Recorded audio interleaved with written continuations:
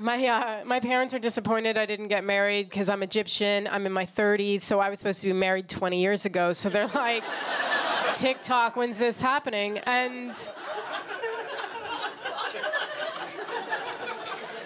they don't understand how hard dating is because they didn't date. They were in arranged marriage. Uh, they met on The Bachelor season three, I think, and so like they